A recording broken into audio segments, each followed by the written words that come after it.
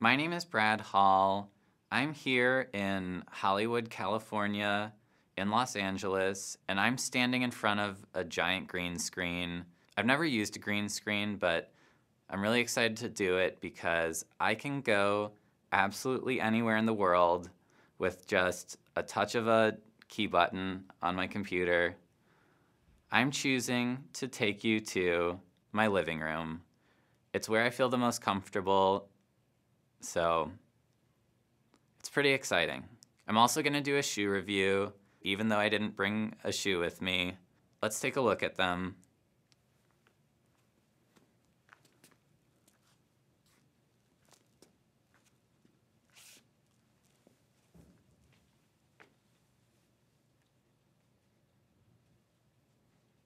The leather on the upper is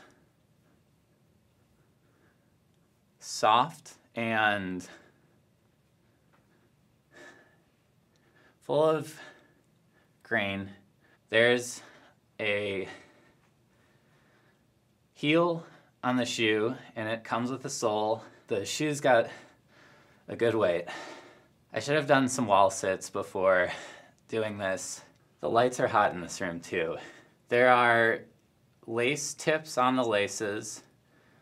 You need those. I really feel it in my quads a lot. And my hammies too. The bottom of the shoe has, back up. Oh.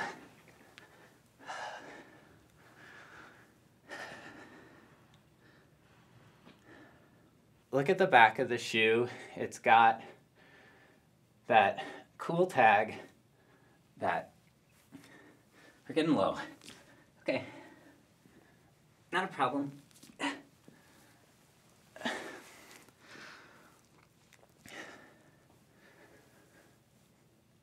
I love this shoe.